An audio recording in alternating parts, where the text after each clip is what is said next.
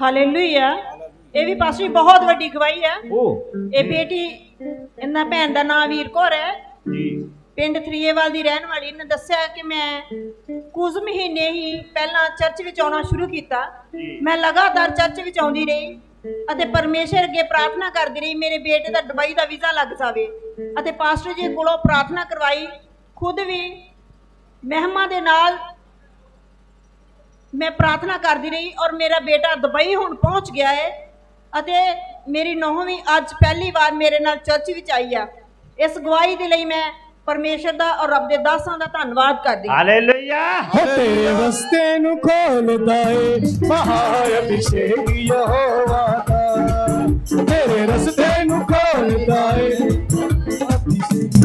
ਦੇਖਿਓ ਦੇਖੋ ਬੱਚਿਓ ਇਹ ਮੈਨੂੰ ਯਾਦ ਆ ਇਹ ਭੈਣ ਜਦੋਂ ਵੀ ਮੈਨੂੰ ਮਿਲਦੀ ਸੀ ਇਹਦੇ ਹੱਥ ਵਿੱਚ ਉਹ ਫੋਟੋ ਹੁੰਦੀ ਸੀ ਬੱਚੇ ਦੀ ਹੈਨਾ? ਹਰ ਵਾਰੀ ਬੱਚੇ ਦੀ ਫੋਟੋ ਲੈ ਕੇ ਆਈ ਤਾਂ ਉਸ ਦਿਨ ਇਹਨੇ ਕਿਹਾ ਕਿ ਮੇਰੇ ਬੇਟੇ ਦਾ ਕੋਈ ਕੰਮ ਨਹੀਂ ਬਣ ਰਿਹਾ। ਕਈਆਂ ਸਾਮਾਂ ਸਮੇਂ ਤੋਂ ਉਹ ਵਿਹਲਾ ਆ।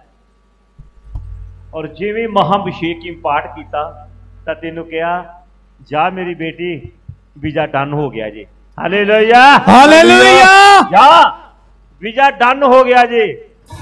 ਤਾਂ ਖੁਦਾ ਨੇ ਕੀ ਕੀਤਾ? ਉਸ ਆਵਾਜ਼ ਨੂੰ ਸੁਣਿਆ ਤਾਂ ਅੱਜ ਤੁਹਾਡੇ ਸਾਹਮਣੇ ਭੈਣ ਖੜੀ ਆ ਕਿ ਦੁਬਈ ਮੇਰਾ ਬੇਟਾ ਪਹੁੰਚ ਗਿਆ ਵਾ। ਹੈ। ਹਾਲੇਲੂਇਆ। ਹੋ ਜੇ ਇੱਕ ਦਰਵਾਜ਼ਾ ਬੰਦ ਹੋ ਗਿਆ। ਦੂਜਾ ਖੁੱਲ ਜਾਏਗਾ ਇੱਕ ਦਰਵਾਜ਼ਾ